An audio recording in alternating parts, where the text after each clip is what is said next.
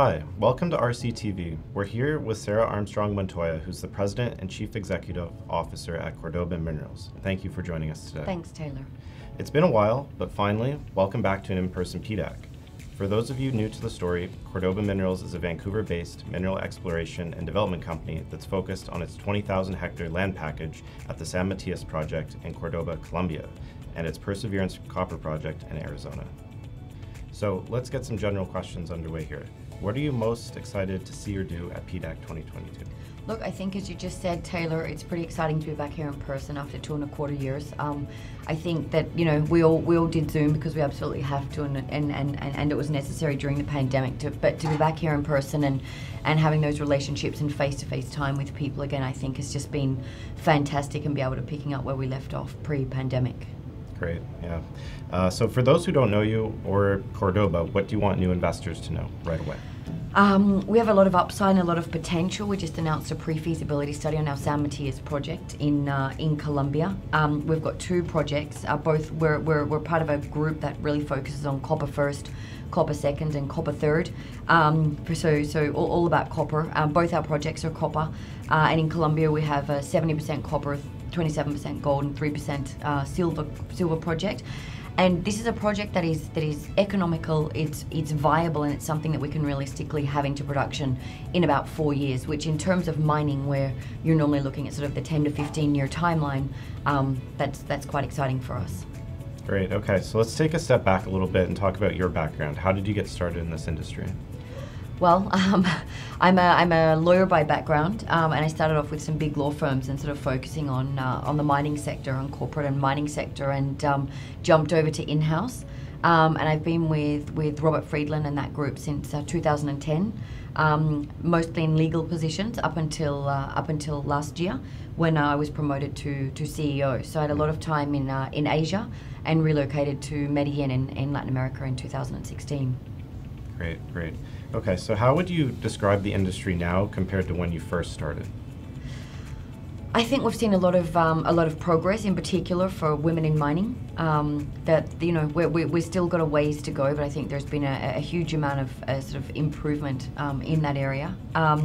I think that um, I mean the mining industry has always been exciting to me. I've always I've always really liked it. Um, I've always sort of sp- specialized in in emerging markets, and most of our projects have been in those markets. And um, I think most of the time we're in situations where those those markets understand if they want inter- international investment and international money, they need to adhere to sort of those international standards. And one of the biggest changes I think that we've seen is we're now going towards greener projects. And I think we're going to go in the direction of where the greener your project, you, you're probably even going to get a better price for your for your commodity. So we've got such a huge ESG focus now, um, which is probably the biggest change I've seen in the last 15 years. And I think it's extremely important. Everybody gets that, you know, without the without the communities and that environmental focus and that social work, there really is no no no project. And so that that's probably what I think is the the, the biggest change that I've seen.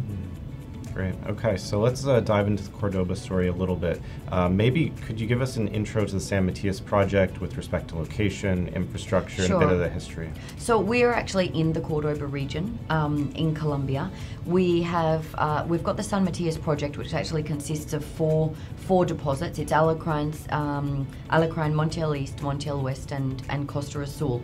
But as you mentioned in your in your intro, we've locked up a huge land package in Colombia. We've got about 900 kilometres um, under application. We've got 146 kilometres of granted concessions there.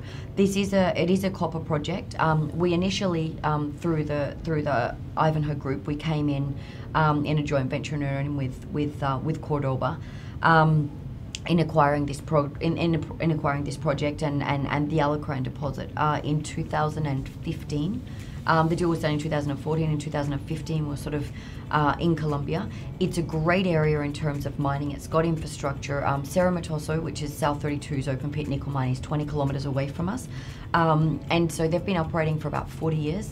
It means that the communities uh, know about open pit mining, they understand what it is, um, and they support it. They know the benefits that come along with it. So we've got paved roads, we've got telecommunication towers, we've got uh, electricity grid there. We get about two and a half metres of rainfall per year.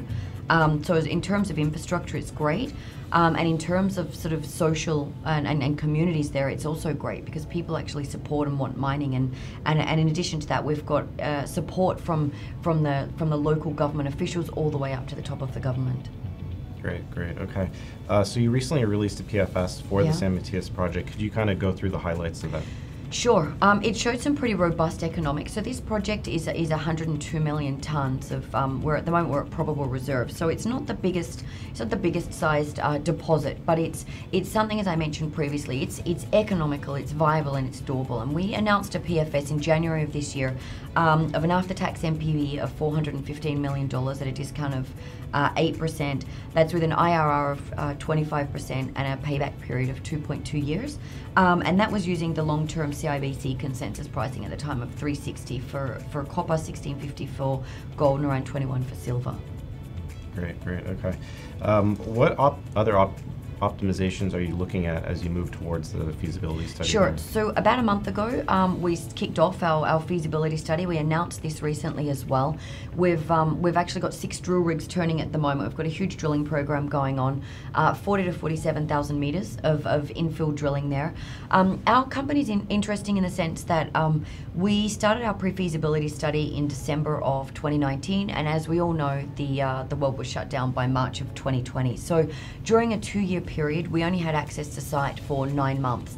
The reason that we had we were stuck to sort of this time frame is in Colombia there are two permits required to build and operate a mine. The first one is called a, a plan of, of works, which is effectively like a mine plan, um, and that is about equivalent to the engineering studies required for a pre-feasibility study. So we simultaneously did both of these at the same time, um, and so we had a hard deadline of November of last year to file that that PTO. So during this two year period, as I mentioned, we only had access for nine months, and a lot of the studies and work we would typically do for a PFS, we've had to pass over to the feasibility stage of the project, and hence our large infill drilling program of around 40,000 meters, 47,000 meters. Um, in addition to that, we'll be doing further MET testing and, and additional trade off studies. So, we do expect to see some good upside here. And I think one other important thing is we have a, a community right on top of where our pit's going to be. Um, and so the least amount of work we've done to date has been drilling on this ore body. Um, and so now we've actually, for the first time ever, got six drill rigs in there at the moment under this community. So we do expect to see some uplift in our the gold of our, our copper, gold, and silver. Great. Okay. Um, you touched on the permitting, but maybe you can just give us kind of the overview of that, uh, what it looks like for the project. Sure. So, as I mentioned in Colombia, there are two permits required to build and operate a mine. The first is at PTO, so your mine plan. Um, and the second one required is the environmental impact assessment study. We've been doing that uh, now for probably about 18 months. And the level of studies required for that, it's, it's uh, over and above that of a feasibility study. In some cases, it goes all the way up to, to full detailed engineering design and what's needed for construction. Um, so the feasibility study that we're currently doing will support that EIA, and we're looking to, to file that with the Colombian government um, in the first half of next year. We also uh, have uh, expect to have an answer um, on our PTO, which, uh, and, and that that will be approved within the next couple of months. So with those two permits, we're, we're good to build a mine. Great. Okay. Um, so could you tell us about the timeline timeline to get to that feasibility study, as well as a construction decision and then potential production? What does that look like? Sure. So, um, as I mentioned, the feasibility study will be over the next 12 months, um, and and then we would be so we would be announcing that, um, and and also filing the EIA within the next. Within by, by the by the second quarter of next year, um, and then following on from that, we will be making an, a sort of investment decision. We'll need to do detailed design, and we're hopefully, depending on the, the the time that permitting takes. I think importantly to note here, we are a project of national interest for the Colombian government, um, so we've got a, excellent government support and, and, and hopefully our permitting all goes rather smoothly and we're looking at starting construction um, by the end of 2023 early 2024 depending on that timeline and again um, depending on permitting uh, production by end of 2025 early 2026 Perfect. Well, thank you very much for joining us. today. thank you taylor